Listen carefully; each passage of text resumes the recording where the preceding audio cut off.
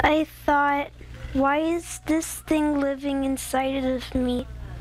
And ew. Now a story you will see only on Action News. One Clovis student is on the road to recovery tonight, but her sister is still in the intensive care unit after a sudden and debilitating case of E. coli. Action News reporter Sontaya Rose visited them today. The nine-year-old third grader is still critical, and her 13-year-old sister is improving. Sontaya joins us now with a story again you'll see only on Action News. Cynthia? Well, Warren, Mariska and Willow were active, healthy kids with no medical history. Their parents thought it was a virus or terrible case of the flu, but after days of worsening symptoms, they were admitted to Valley Children's Hospital with E. coli.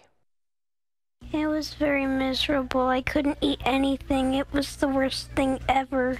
13 year old Mariska Niles is finally starting to improve after 16 days in the hospital. She's had more blood transfusions than she can count, along with excruciating stomach pain. I felt dizzy to stand up, and it, it was just horrible. Tasha Niles says her daughters were having a great school year until the start of Thanksgiving break. And these were strong, healthy girls, and it just, I had no idea it would be like this. The sisters were diagnosed with E. coli HUS, or typical hemolytic uremic syndrome, but the girls had unique cases. Theirs was pretty atypical. Um, particularly the severity of Willow's case was very, very severe. This form of bacteria usually originates from contaminated food or water products. Pinpointing the exact source has been difficult. They haven't traveled anywhere recently. The family hadn't eaten out lately. It's likely other family members also ate what the girls did but did not become violently ill. Even more puzzling, Mariska and Willow rarely eat the same thing things. Which is why we can't figure out what it would have been. And Mariska and Willow have very different tastes in food. There are very few things that they like in, common. So, you know, it, it narrows things down quite a bit more. Willow's kidneys still aren't working. She's been debilitated by toxins from the infection and at one point couldn't wake up.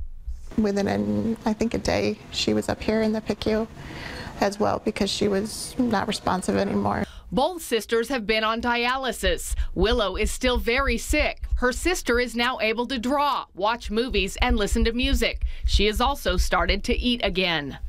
I can actually stand up without wanting to barf now. They may have a long road ahead of them, but I certainly think that they have a very good chance of recovery, um, and patience and time will tell. Initially, the girls were together in the ICU, but now Mariska has been moved. It's been the hardest part of getting well, wondering how her little sister is doing. I miss her. And if she continues to improve, Mariska could be out of the hospital within the next few days. Doctors expect Willow, though, will be there through the holidays. Their parents, though, have not left their sides and both remain off work to be with them. Sontaya Rose, ABC 30 Action News.